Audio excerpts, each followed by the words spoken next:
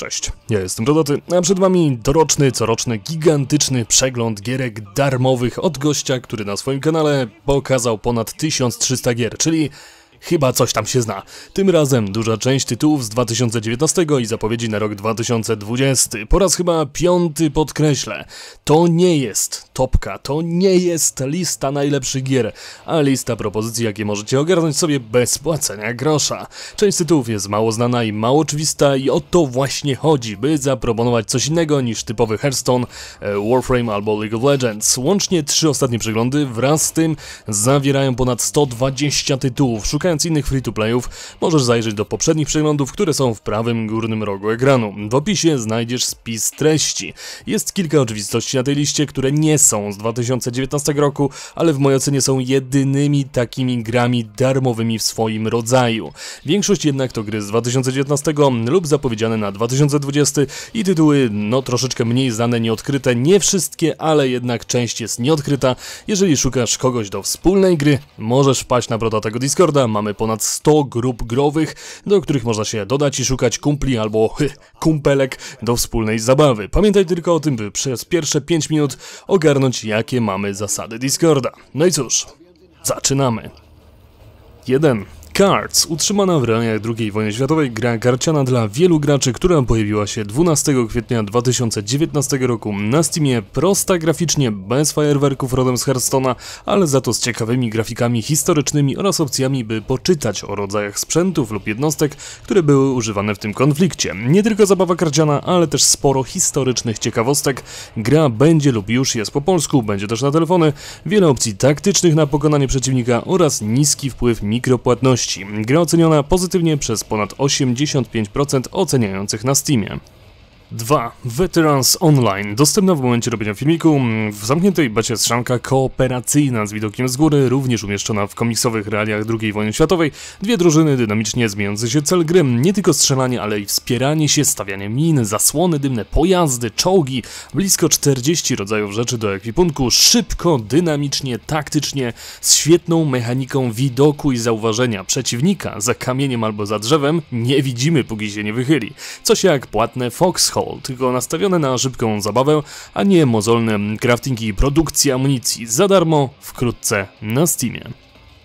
3. Rogue Haste. Lada chwila pojawić się ma tytuł, który może spodobać się fanom napadów. Oczywiście mamy Payday 2, ale by mieć wszystko w tej grze, którą już i tak wszyscy przeorali przez lata na 5000 godzin, trzeba kupić z 20 DLC. Tutaj za darmo mamy grę do 12 osób, gdzie każdy ma konkretny cel.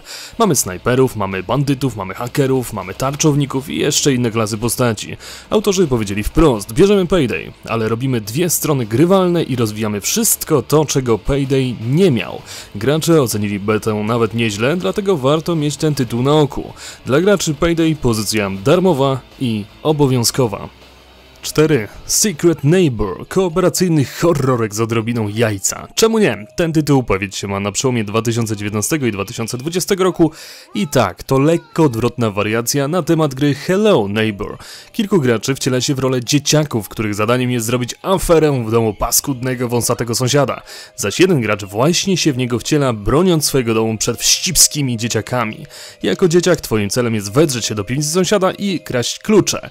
Zadaniem sąsiada jest do tego tego nie dopuścić. Każda ze stron ma sporo najróżniejszych opcji i gadżetów, by osiągnąć swój cel. Wszystko to z czatem głosowym. 5. Teamfight Tactics, jedna z trzech gier, które zdobyły w 2019 roku ogromną popularność, bazując na tzw. Tak gatunku auto chess albo inaczej auto battler.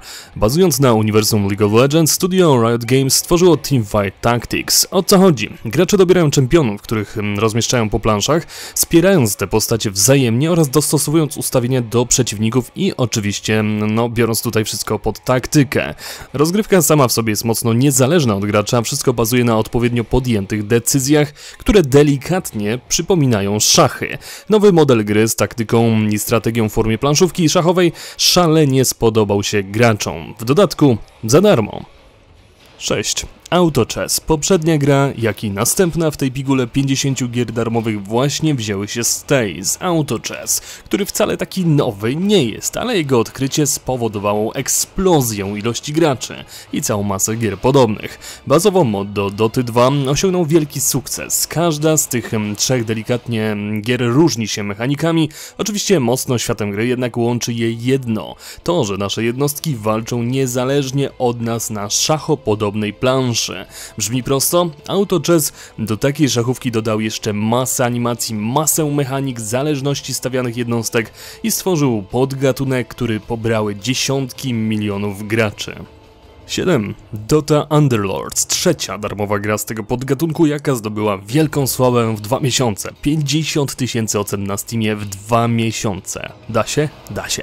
Trzeci tytuł z tego gatunku, który w czerwcu 2019 roku eksplodował popularnością, tym razem bezpośrednio wydany przez Valve. Chociaż społeczność graczy lekko się zniesmaczyła na początku Underlords, miało ponad 86% pozytywów, w momencie przeglądu już tylko 60%. Mimo to społeczność gry jest ogromna, Mechanika zabawy jest podobna jak w dwóch poprzednich grach. Rozstawiając na planszy jednostki, staramy się opanować ich mechaniki w taki sposób, by zwyciężyć w starciu z przeciwnikiem w takiej turowo-szachowej rozgrywce. 8. Soldiers Arena. Na ten tytuł czekamy już od początku 2019 roku, ale może wkrótce się publicznie pojawi. To sieciowy, na początku prawdopodobnie płatny, następnie w pełni darmowy RTS, połączony z grą akcji od autorów znanej serii Man of War. Otrzymać mamy trzy frakcje konfliktu z okresu II wojny z dziesięcioma dowódcami mającymi swoje mechaniki. Unikalną sprawą ma być tutaj możliwość wcielenia się nawet z pierwszej osoby w każdą posiadaną jednostkę swojej armii, korzystając z blisko 200 rodzajów, z pełnym systemem zniszczenia otoczenia. Jeżeli ktoś z Was kochał się w drugowojennych RTS-ach typu Sudden Strike, Blitzkrieg, Man of War, ten tytuł będzie pozycją obowiązkową, w dodatku za darmo. 9. Project Zero Devs to dwuwymiarowa strzelanka dla wielu graczy z opcją grania solo oraz w kooperacji z dużym naciskiem na efekty grawitacji albo fizyki. Gierka pojawiła się w czerwcu 2019 roku na Steamie i zdobyła ponad 77% ocen pozytywnych. Do dyspozycji w wersji wczesnego dostępu mamy 5 bohaterów, 27 rodzajów broni o mocno różnym sposobie działania, 4 tryby gry oraz opcję tworzenia klanów. Dodatkowo mamy cross-platformowy tryb sieciowy, niskie wymagania sprzętowe, w tym w sumie w sam raz dla ludzi z drewnianym komputerem Klasy postaci mające swoje umiejętności, jeżeli szukacie czegoś prostego do relaksu albo do pogrania z młodszym bratem, ten tytuł może się nadać. 10. Torchlight Frontiers. Pod koniec 2019 roku pojawić się ma odprysk serii Torchlight, czyli jednego z kilku faktycznie bardzo dobrych tytułów hack and slash, tym razem z naciskiem na granie po sieci oraz model darmowy. Rozgrywka ma bardziej być nastawiona na kooperacyjne młocenie potworów, rozwijając swoje postacie, zbierając ekwipunek, niż na grindowaniu, chociaż z racji darmowego modelu zobaczymy jak to autorom wyjdzie. Należy jednak zaznaczyć, że nie jest to gra aż tak sieciowa, jak niektórzy by oczekiwali, jest to gra bardziej pod sieciową kooperację z możliwością grania z innymi. Zdaniem testujących gra ma starczyć na około 60 godzin, nim dojdziemy do jej końca, a następnie to co w każdym hack and slashu, ulepszanie ekwipunku i postaci. Jak to wyjdzie, przekonamy się niedługo. 11. Kings Arthur Gold. Tytuł mający już nieco na karku, ale warto wspomnieć, że jest to produkcja polska oraz właśnie, co istotne, przeszła na model darmowy. Na uznanie uwagę zasługuje ta gra z trzech powodów. Mimo 6 lat od wydania aktualizacje dalej są. Nietypowy model zabawy, czyli dwie strony, które budują, tworzą, podkopują się, atakują trebuszami, katapultami czy szybkimi podjazdami w dwuwymiarowy sposób. Zręcznościowa, śmiechowa, pixelartowa walka, gdzie współpraca gra dużą rolę. Sporo trybów trybów gry. Trzecia sprawa to tryb single, czyli możemy grać sobie z botami. Mamy też multi do aż 32 graczy z wpływem fizyki oraz dostępność modów. No i ruszy na pralce, a zabawa doprawdy nietypowo śmiechowa, kiedy sprzedamy kopa przeciwnikowi, ten spada gdzieś daleko, daleko z jakiejś wieży i nadziewa się akurat na dzidę naszego kumpla. 12. Conqueror's Blade. Spora produkcja, która pojawiła się na Steamie 30 maja 2019 roku od studia Booming Games o ciekawym modelu rozgrywki, który jednak dla niektórych graczy nie wypalił do końca. Ta gra to miks trzech gatunków, odrobiny taktyki, trochę MMO oraz dużo akcji. Jako gracz w tym wielkim świecie wcielamy się w rolę dowódcy oddziałów, którymi następnie dowodzimy w obronach, najazdach czy oblężeniach, wcielając się w jednego z dziesięciu na razie dostępnych przywódców. Gra jest bardzo spektakularna i mocno rozbudowana, jeżeli chodzi o opcję dowodzenia i tworzenia swojej armii. Dodatkowo mocno klanowa, robimy swoje albo dołączamy do innego imperium. Niestety wadą tej gry jest koszmarna optymalizacja. 13. World of Myths. Karcianka, która pojawiła się 30 maja 2019 roku na Steamie otrzymała 77% ocen pozytywnych do momentu tego przeglądu. Na pierwszy rzut oka mocno przypomina graficznie Hearthstone'a, jednak posiada kilka swoich unikalnych mechanik i działa lekko inaczej wbrew pozorom. Zamiast frakcji mamy tutaj mitologię. To rodzaje deków, jakie możemy tworzyć. Oczywiście każda mitologia bazuje na innych mechanikach, co czyni walki pomiędzy nimi interesującymi. Dużym plusem są wypuszczane co dwa tygodnie regularne i duże aktualizacje. W World of Myths ma również pojawić się wkrótce mitologia słowiańska. 14. Apex Legends. Jedna z kilku oczywistości na tej liście, ale jednak gra Battle która przez pewien czas zdetronizowała popularnością Fortnite'a. To coś znaczy. Berka od studia Respawn Entertainment z wyraźnym uczuciem strzelania delikatnie rodem z Call of Duty lub bardziej precyzyjnie z Titanfall. W futurystycznej formie, również z delikatnym stylem looter-shootera, podstawowe cechy, wyraziste klasy postaci, nietypowe dla tego gatunku umiejętności oraz rozgrywka oparta o umiejętność opanowania budowania postaci, a nie durne budowanie fortów do nieba. Co stoi za tym, by spróbować ten tytuł? Wyrazistość tego tytułu, zasadnicze różnice w stosunku do innych popularnych produkcji battle royalowych. 15. Splitgate Arena Warfare. Coś innego w gatunku strzelanek sieciowych. Tytuł pojawił się 24 maja 2019 roku na Steamie i zdobył blisko 6000 ocen, z czego 72% to pozytywy. Większość darmowych FPS-ów niczym się nie wyróżnia. Tutaj autorzy postanowili dodać odrobinę portala do swojej gry, czyli strzelając się z innymi używamy portali. Rzucamy taki portal na ścianę i wychodzimy na przykład pod przeciwnikiem, albo to jemu rzucamy portal pod nogi, a on spada gdzieś tam w przepaść. Strzelamy się, Goni nas goście w ślepy zaułek, patrzy tam nic nie ma, a my sru wyskakujemy z postawionego na suficie portalu, strzelając mu prosto w głowę. Żadnych klas, żadnych leveli, wszyscy są w tej grze równi. 16. Crossfire X, gra, która dopiero się pojawi w momencie tego przeglądu na przełomie 2019 i 2020 lub w tym drugim roku bardziej, ma być to wskrzeszenie znanego Crossfire, ale również z trybem kampanii. Bardzo prawdopodobne, że będzie to gra darmowa. Na razie o tej grze nie wiadomo bardzo dużo, na trailery niewiele pokazują, jednak to dobra informacja dla fanów starego Crossfire i na pewno będzie to gra mocno promowana, bo wychodzi pod skrzydłami Microsoftu oraz pod marką Xboxa. Czy będzie cross pomiędzy między platformami nie wiadomo. Jeżeli czekacie na jakiś nowy, bardziej kasowy, darmowy FPS, prawdopodobnie darmowy, można ten tytuł obserwować. 17. Deuterium Wars, dwuwymiarowa gierka, która pojawiła się na Steamie 16 maja 2019 roku i zdobyła blisko 400 ocen o poziomie 80% pozytywów. Później z ocenami był już troszeczkę gorzej, prawdopodobnie ze względu na spadający player base. W tej grze tworzymy swoją latającą maszynę, którą konkurujemy w dwuwymiarowej formie z innymi graczami, ale jest też opcja gry w pojedynkę. Montujemy na tych samolotopodobnych obiektach najróżniejsze rzeczy sprawiające, że nasz pojazd różnie się zachowuje i ma różne zalety lub wady. Do dyspozycji już teraz mamy blisko tysiąc części broni, pancerzy, silników, gadżetów, elementów. W tego typu grach właśnie ta piękna jest dowolność i eksperymentowanie. Do tego niskie wymagania sprzętowe. 18. Steambirds Alliance. Gra pojawi się w sierpniu lub październiku 2019 roku i może spodobać się fanom tzw. Tak rogali albo gierek Bullet Hell, gdzie na ekranie mamy masę obiektów, pocisków, rzeczy zadających nam obrażenia, a naszym zadaniem jest tego po prostu unikać i wygrać. Tak, ta gra to masowa gierka sieciowa w stylu permadev, czy powiedzmy roguelike, czyli giniemy i tracimy praktycznie wszystko, czy faktycznie wszystko zobaczymy po premierze, kto za tym tytułem też stoi. Jeden z autorów znanego i różnie ocenianego Realm of the Mad God. W tym wypadku bardziej w formie pilotowania kosmicznego statku niż walki z potworami, jednak dalej w formie mocno rogalowej, zbierając masę ulepszeń, walcząc mega zręcznościowymi przeciwnikami w stylu Bullet Hell, gdzie po prostu liczy się mega opanowanie. 19. Blockpost. Styl graficzny przez jednych kochany, przez innych znienawidzony, czyli coś na kształt Unturned. Kwadratowe, duże głowy, wszystko utrzymane w sześciennym klimacie, delikatnie jakby podobnym do Minecrafta, tak jakby do tej gry dodać broń palną. Blockpost pojawił się na Steamie 25 kwietnia 2019 roku i zdobył blisko 6000 ocen, otrzymując 70% pozytywów, oferując za darmo 7 trybów gry, ponad 20 mapek oraz ponad 100 rodzajów broni. W pewnej mierze możemy mówić mówić tutaj o parodii sześciennej CS-a, bo znajdziemy w tej grze znane z CS-a na przykład skiny na noże, ale w takiej kompletnie sześciennej, parodyjnej formie. Niektórzy powiedzą, że to kopia Blockade 3D albo innej gry tego typu, no inni z racji małej żywności innych gierek mogą sobie właśnie ten tytuł przetestować jako zamiennik tych poprzednich sześciennych strzelanek, które już nie do końca są żywe. 20. Watchers. Wariacje w gatunku Royale mają czasami trochę sensu, jeżeli zrobione są inaczej niż kopia PUBG czy kopia Fortnite'a. Przykładem była parodia do autorów gry War Thunder, gdzie za zbroje robiły garnki.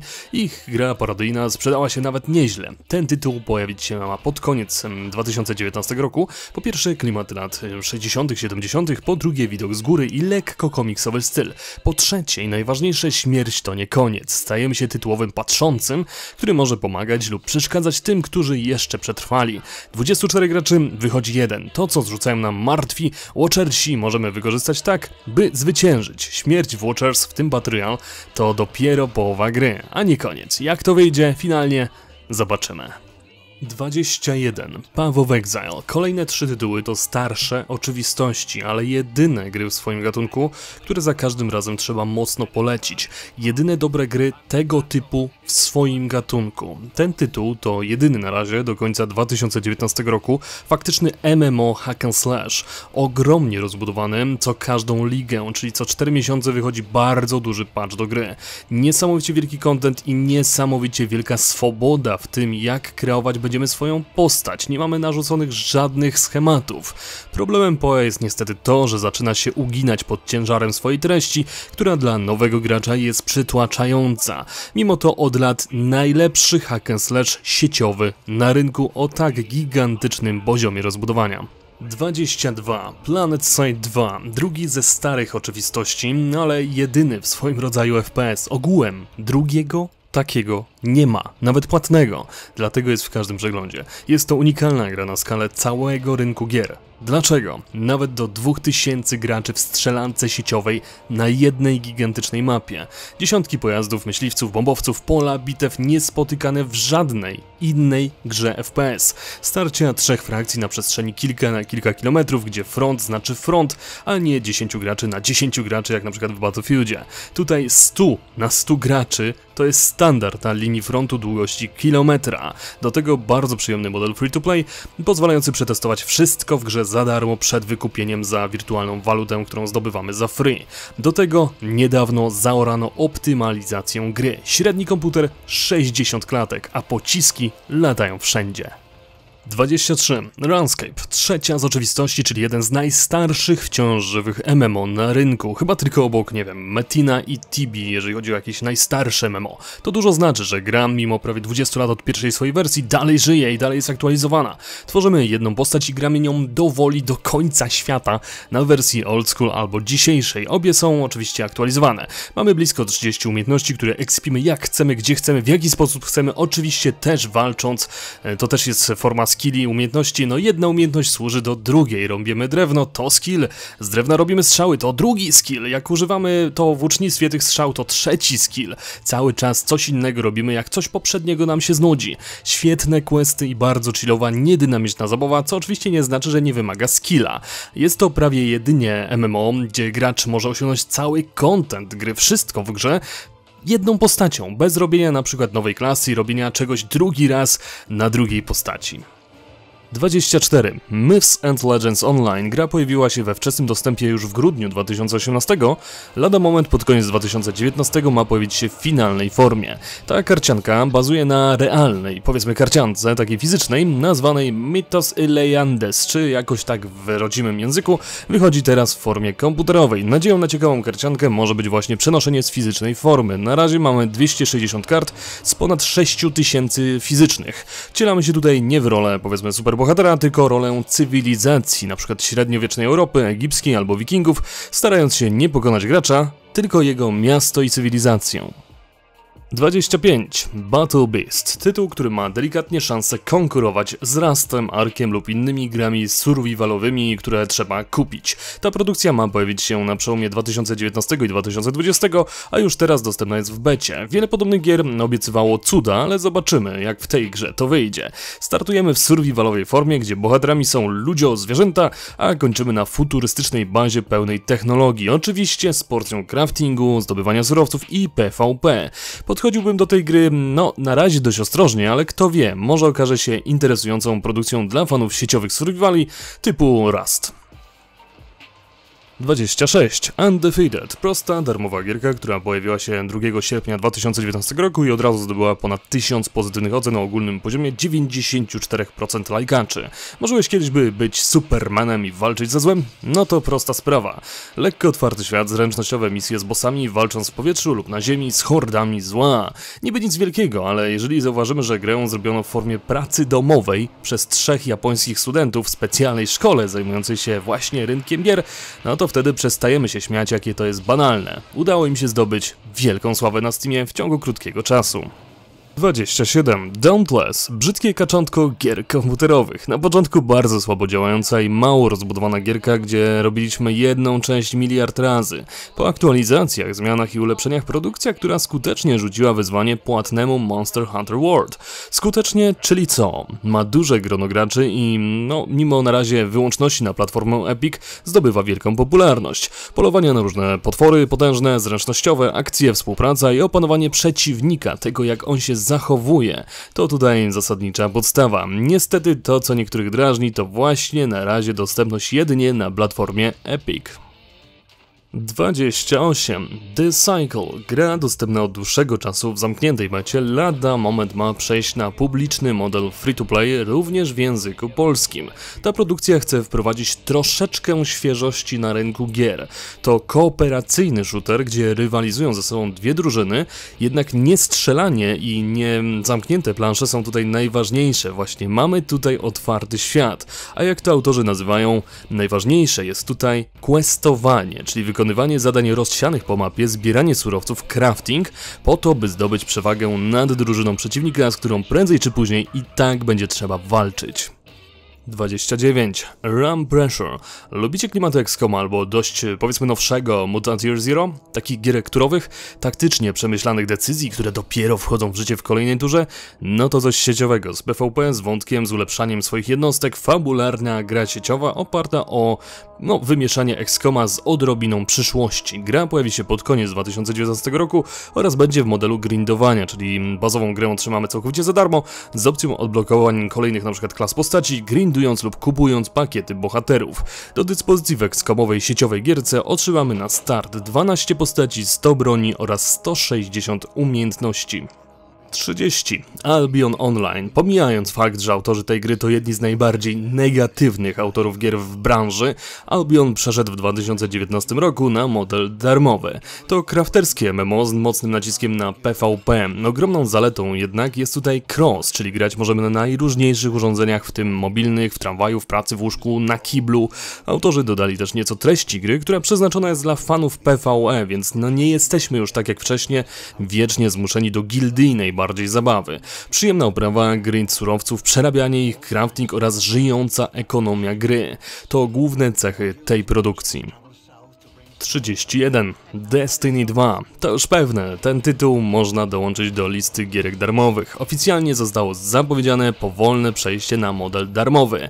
Wraz z planowaną premierą dodatku Shadowkeep, gra w podstawowej wersji będzie wkrótce dostępna za darmo. Niestety były poślizgi, chyba to przejście pojawi się dopiero na początku października 2019 roku, albo nawet później.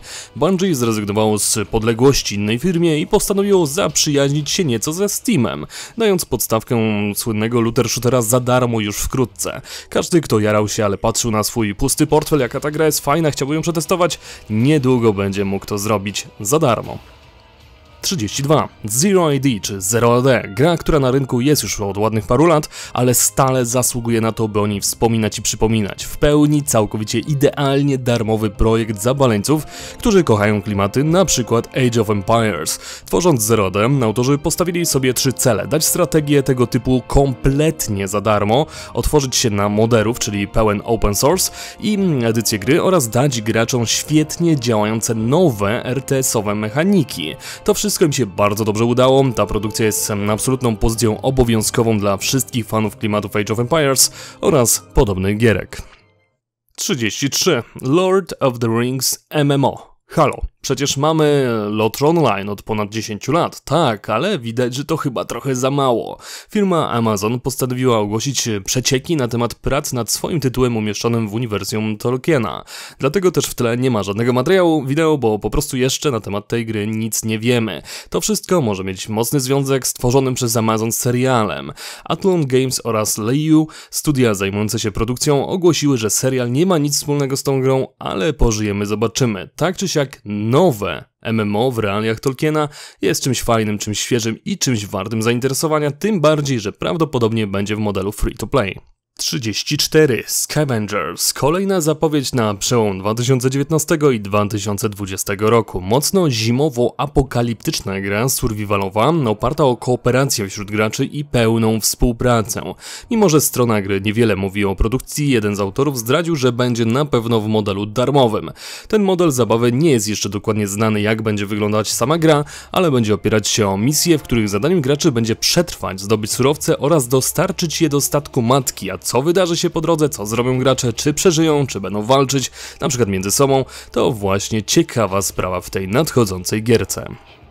35. Red Hot Vengeance, gierka, która pojawiła się 11 lipca 2019 roku i w miesiąc zdobyła prawie 1000 ocen o poziomie przytłaczająco pozytywnym, mimo tego, że wygląda bardzo, bardzo, bardzo prosto. 95% lajkaczy na Steamie. O co chodzi? O stickmeny, czyli proste, patyczakowe ludki, które zabijamy. My wcielamy się w jednego z nich, którego zadaniem jest zemsta na bezdusznych urzędnikach i korporacjach. Prosta oprawa, dynamiczna rozpierducha, masa opcji, z jakich można po drodze korzystać, krwiście oraz z dostępnym edytorem i wsparciem warsztatu Steam. Zabawa bardzo prosta, ale na wiele, wiele, wiele godzin i za darmo. 36.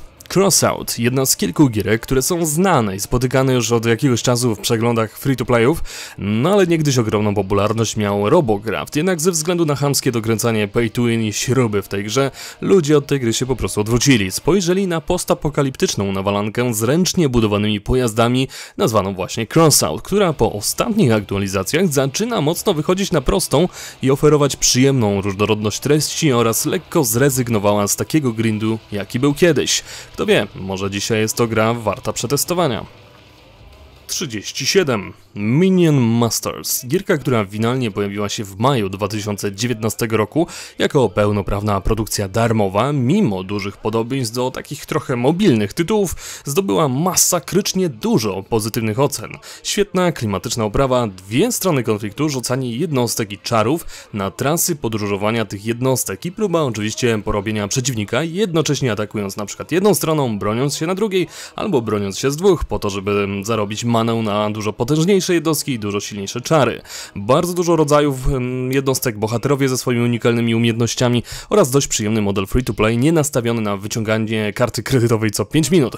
Według ocen na Steamie jedna z najlepszych gier free-to-play tego roku. 38. Eternal, jedna z karcianek, które w dniu wydania na Steamie zdobyły oceny bardzo pozytywne, 77% lajkaczy. Ostatnio z ocenami dla tej gry jest nieco słabiej, jednak dalej trzyma kilkaset graczy online oraz posiada również kampanię z możliwością gry samemu przeciwko botom. Nieco graficznie przypomina Hearthstone'a, jednak według ocen pozytywnych ta gra posiada bardzo przyjemną ekonomię karcianą, co nie zmusza gracza do ciągłego opłacenia. Wszystko można zdobyć za darmo, po prostu grindując i rozwijając swoje konto konto, dając graczowi też kilka trybów gry poza zwykłym rankedem albo casualem. 39. Tactical Monsters Rumble Arena. Coś, co może przypominać z racji mega dużej popularności gierek, na przykład coś w stylu Dota Underlords albo Teamfight Tactics. Coś podobnego, ale w formie bardziej gry planszowej, jeszcze bardziej, za darmo oraz z większymi decyzjami gracza niż w tego typu grach nazwanych potocznie Auto Battler. Również z minimalnym systemem kart. Dużą zaletą jest opcja gry samotnej, jeżeli player base będzie za mały oraz mimo wszystko regularna aktualizacje dodające nowe potwory i nowe postacie. Rozgrywki są szybkie, jednostek i kart jest całkiem sporo, a oceny bardzo pozytywne nawet po roku od wydania gry na Steamie. 40. Shroud of the Avatar. Dość kontrowersyjna gierka, która dostępna jest w końcu za darmo. Z jednej strony bogate, crafterskie, społecznościowe MMO, z drugiej strony autorzy gry no nieźle kutaszą, reanimując ten tytuł już na siłę. Z jednej strony czuć niesamowicie przyjemny klimat Ultima sprzed lat, świetnie pisane wątki, fascynujące lokacje oraz pełną wolność tego, kim chcemy być w tej grze. Z drugiej nie czuć w tej grze celu, ani w sumie takiego potocznego życia. Dla fanów klasycznych starych MMO można można podsunąć do przetestowania, skoro za darmo. Może jakiś fan Ultimy mm, uroni tutaj po prostu łezkę nad podobieństwami, innym fanom azjatyckich bardziej MMO raczej Shroud się nie spodoba. 41. Kapitan Starshot. Bardzo ciekawa i nietypowa gierka darmowa, przeznaczona dla jednego gracza, w której cielamy się w postać rodem ze starych bajek z lat 50. i 60. Jesteśmy kapitanem Starshot i likwidujemy zagrożenie ze strony potworów w kosmosie, atakując najpierw w formie zręcznościowej statki obcych, a potem robimy im abordaż w rogalowej formie. To druga na tej liście gierka free-to-play zrobiona przez studentów. W ramach nauki wyszło im to po prostu świetnie. Losowe poziomy, odrobina craftingu, fajna muzyka to podstawowe zalady tej zaskakująco darmowej gierki. 42. Airmech Strike, jedna z nietypowych darmowych gier, która wykracza trochę poza rok 2019, leciutko wstecz, ale ma powody, dla których zasługuje na uwagę i umieszczenie w takiej właśnie liście free-to-playów. To miks trzech gatunków, z jednej strony gry MOBA, z drugiej RTS-a, z trzeciej gry akcji z leciutką posypką hacka slasha w formie futurystycznej. Rozwijamy, budujemy bazy, jednostki, wysyłamy je na bazy przeciwnika, walczymy z nimi, jednocześnie starając się walczyć samym swoim bohaterem, jego umiejętnościami, jego możliwościami. Co bardzo fajne, te wszystkie armie, którymi będziemy walczyć w trakcie rozgrywki, sami sobie je tworzymy i ustawiamy. Rozgrywka jest nietypowa, ale niestety autorzy zaczęli ją nieco dożynać, co spowodowało spadek ilości graczy. Mimo to warta przetestowania. 43. City Battle, jedna ze strzelanek, które nieco niesłusznie otrzymały na początku oceny mieszane, po kilku miesiącach na szczęście te oceny zaczęły rosnąć. Można powiedzieć, że to strzelanka oparta o klasy postaci współpracę, coś delikatnie w stronę Overwatch, mm, gdzie rozgrywki toczą się w dynamicznym 5 na 5 z użyciem bohaterów o różnych umiejętnościach opartych o to, żeby współpracować z innymi. Mimo małej ilości graczy można grać z botami, plusem są tutaj regularne aktualizacje praktycznie co tydzień, Minusem niestety typowo ruska społeczność gry. Jak to się mówi, gra została trochę przejęta przez konkretną społeczność graczy. 44. Exocraft. W marcu 2019 roku na Steamie pojawiła się gierka, która delikatnie przypomina płatne reassembly lub można powiedzieć, że dwuwymiarowego Robocrafta. Mimo niezbyt pozytywnych ocen, produkcja ma jedną mega fajną, ciekawą rzecz. Rozpoczynamy budowę swojego statku od takiej małej dronki górniczej albo małego myśliwca, a kończymy na praktycznie stacji kosmicznej, zbierając surowce, rozwijając swoją wizję statku albo kilku statków albo całej armii, walcząc z innymi, jeżeli się trafią, oraz tworząc flotę i oczywiście eksplorując świat. Niestety niszczy to koszmarny grind, o którym wspominają negatywne oceny na Steamie. 45. Magic the Gathering Arena. Wielu fanów uniwersum Magic mówi wprost, nareszcie powrót do korzeni, nareszcie koniec z wariacjami najróżniejszych mechanik, niby Magic coś tam, a tutaj mamy w końcu powrót do klasyki. Pod koniec 2019 roku ma pojawić się w modelu darmowym po zamkniętych testach, które wielu graczy oceniło dość pozytywnie. Autorzy posłuchali tego, co chcieli po prostu gracze zobaczyć, czyli brak przekombinowania, leciutkie klimatyczne animacje oraz to, co wielu z nas przed wielu, wielu lat. Jednak czy autorzy nie dorzucą tutaj za dużo nowości? No można było przekonać się o tym w trwających testach, a gra finalnie w pełni ma pojawić się lada moment. 46. Rocket Arena. Ten tytuł ma pojawić się pod koniec 2019 roku lub na początku 2020 i ma przynieść dynamiczną, wybuchową zabawę w formie 3 na 3 Wszystko w tej produkcji opartej o PvP lub tryb kooperacji bazuje na tytułowych rakietach oraz różnych klasach postaci. Jedna z klas rzuca rakietowy nalot, inna odbijające się od przeszkód i ziemi rakietki, jeszcze inna ma wolne, ale naprowadzone na przeciwników ponownie rakietki. Do tego dochodzą różne roboty w trybie kooperacji i różne tryby gry. Na razie to dopiero zapowiedź, ale już za kilka miesięcy niby mamy mieć okazję przekonać się sami, jak to wyszło. 47. Eden Racing. Z jednej strony powinienem ten tytuł odradzić, bo to tak naprawdę tylko 12-godzinne, wykrojone, oszlachtowane ze wszystkich feature'ów demko w formie darmowej, czyli to w cholerę chamska sprawa. Z drugiej strony rozgrywka jest bardzo ciekawa, otwarty świat, kooperacja, zbieranie surowców, walka i obrona przed hordą potworów tego, co uda nam się zbudować. To jest jakby gra, można powiedzieć, że siege'owa, czyli najpierw kraftujemy, zbieramy i tak dalej, potem się bronimy. Opcja gry solo lub do 8 graczy, godne przetestowania za darmo, ale czy warte kupna aż 85% treści gry, która jest płatna, to już inna sprawa. Jak szukacie gierki kooperacyjnej z grupką znajomych, z systemem obrony przed potworami, no to wydaje mi się, że można przynajmniej za darmo spróbować.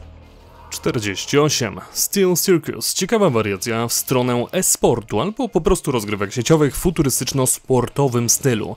Wielu z Was na pewno zna grę Rocket League. Autorzy tej gry rozwinęli taki pomysł o mecze, w których nie jeździmy pojazdami, a gramy na tym, powiedzmy, boisku postaciami ze swoimi skillami i umiejętnościami. Gra jest po polsku i to powoduje tę ekscytację, kiedy nie wiemy jaką taktykę obierze przeciwnik ze swoimi klasami postaci. Ten tytuł bardzo fajnie się gra z ekipą na voice na przykład na Discordzie, no piłka jest jedna, bramki są dwie. Autorzy mają wyraźnie rozpisaną mapę drogową na kolejne miesiące. Jeżeli kochaliście Rocket League, raczej ten tytuł powinien się Wam spodobać, chociaż w mojej ocenie jest troszeczkę bardziej złożony. 49 Warfork, gra, która pojawiła się niemal w momencie wrzucania tego filmu w połowie sierpnia 2019 roku i zdobyła z miejsca 91% ocen pozytywnych z ponad 130. Na razie jeszcze niewiele, chociaż jak na dosłownie jeden dzień w momencie robienia materiału to, to bardzo dobrze. Ten tytuł to dynamiczny, szybki FPS mający ponad 10 trybów rozgrywki, a przypominający delikatnie mechaniką Quake'a, dodając do tego odrobinę klas postaci. Warto wspomnieć, że wiele animacji czy obiektów jest zdaniem autorów tym tymczasowych i będą graficznie ulepszane. Wielką zaletą jest już teraz, w tym momencie, ponad 30 map oraz ponad 10 trybów gry, jakie już teraz są dostępne do zabawy za darmo. 50 Rise of Legends, miks aż trzech gatunków w modelu darmowym od studia Broken Games, które zdobyło ceny w większości pozytywne na Steamie 76% w lutym 2019 roku. W dużej mierze gra MOBA oparta o klasyczne wieże, przepychanie się po liniach, w mniejszej formie no gra karciana, w której zbieramy karty, a one są naszymi jednostkami lub również umiejętnościami. Wiele wykluczających się tutaj wzajemnie mechanik jednostek, co sprawia, że samo zadawanie obrażeń nie nie jest tutaj najlepszym sposobem na zwycięstwo. Nawet delikatnie jest tutaj też Tower Defense, bo wie, że takie typowe dla moby to nie wszystko. Stawiać możemy też działka lub inne boostujące jednostki obiekty. Na razie trzy rodzaje legionów ze swoimi jednostkami i kartami, więcej wkrótce. Na koniec klasyczne dzięki dla sponsorów browarniczych. Wasze awatarki widać teraz na scence końcowej. Jedni mają trochę większe, inni trochę mniejsze, jak różne inne części ciała. No ale dzięki Kazmomi, Markus, Shiver, Mario, Maruc, Satsoas, Grinus, Mateusz, Klasyka Gier, Cesar Van Kane, Szumigajowy, Pejli, Scott Bank, Kuli, Gamers Den, Hubert Chris, Paweł, Tomek, Guster, Hansior, Kasiencja, Łukasz, Predio, Izak, Maksimo Solini, Arkadiusz, Łukasz, Cyborg, Bacior, Latino Killa, Tobiasz, Furious, Lukas, Adam, Agojpel, Lysy, Mikus oraz Bolo. Na koniec mogę was tylko zaprosić zaprosić do zostania tutaj na dłużej po lewej stronie albo obejrzenia innego filmu na tym kanale po prawej stronie. Tyle.